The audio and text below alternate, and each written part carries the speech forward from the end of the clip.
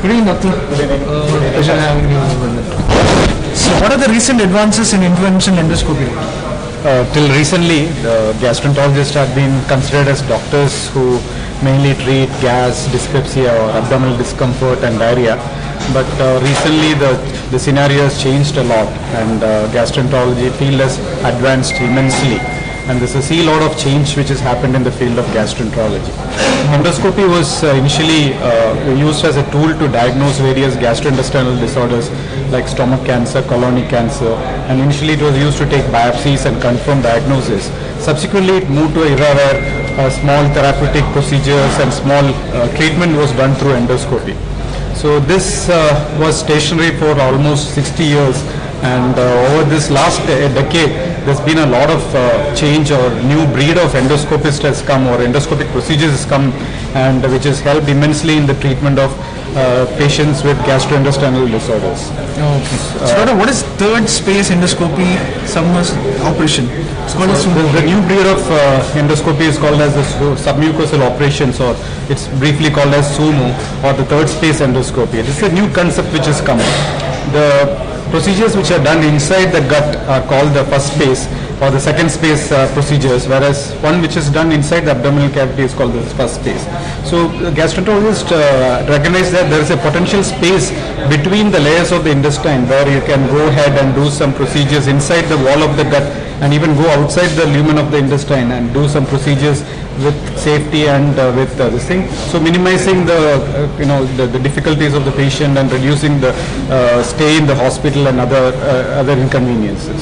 So this is known as the submucosal operations or a third space endoscopy. It's called as sumo also. It's also called as sumo. Okay. Is it a Japanese one they are creating? Yeah, this probably came up in first in the Japanese. Uh, Japanese brought up. Chinese are doing a lot now. The European and the US countries are also catching up on this. Okay. So, what is POEM, doctor? Peroral endoscopy. Yeah, this is the latest uh, inno- innovation or one of those latest procedures where we do some of this uh, treatment for a common condition called achalasia cardia. Achalasia cardia is a disease where the muscle of the food pipe becomes tighter and the food patients are not able to swallow food. So they have and come with the difficulty in swallowing. So conventionally it was treated with uh, dilatation medicines which was not as, effective. So a substitute or a common uh, treatment for, for this was Heller's myotomy or a surgical procedure which has been replaced by this new technology which is called as peroral endoscopic myotomy. In this procedure the uh, endoscope is advanced through the wall of the endoscope and at the G junction, at the junction of the foot pipe and the stomach, the muscle is cut and the pressure, undue pressure on the muscles is uh, released and uh, thereby the patient is relieved of uh, difficulty in swallowing. So it's, it's, a, it's, it's, it's immensely helped in reducing the hospital stay, the cost of the procedure and it helps in, uh, you know, it's, it's a new technology for treatment of uh. So, doctor, how is it better than the conventional treatment for So as I mentioned, the, the duration of the stay is longer, the procedure is shorter, and and you know the cost wise also compared to the other one, it's less invasive. Your patients doesn't have uh, uh, external scar marks, so it's all done through the natural orifice. It's done through the mouth. So the, the the inconvenience of the patient is minimized, and the cost is minimized. Hospital stay is minimized. Okay. So, what is the experience in Manipal? So yeah, this has come to the field. As I said, the Japanese and the uh, Chinese were doing a lot, but now it is caught up in India. But Bangalore or Karnataka, we have not been doing it uh, so far. But in the last one year, in Manipal, our own hospital, we have done more than 10 to 15 cases of such procedures, and it's been initial experience has been very good. Patients have gone out in first 24 to 48 hours. They got discharged, and the relief has been uh, very, very, very fantastic.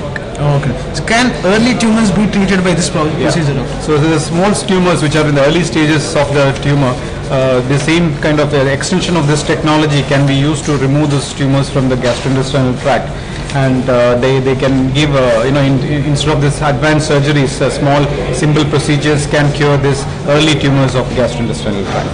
Okay. So, what take-home message would you like to give to our viewers. So, you know, the field of gastroenterology, or especially the interventional endoscopy, is advancing quite fast, and many of those diseases which require uh, advanced, uh, you know, surgical procedures can be avoided by these new technologies which has come up. But the selection is very important. Uh, those cases which are ideal for this has to be picked up, and one has to be very diligent in selecting these cases. Thanks a lot, doctor, for coming over here and sharing your uh, inputs about this topic. Thank you. Thanks a lot, doctor.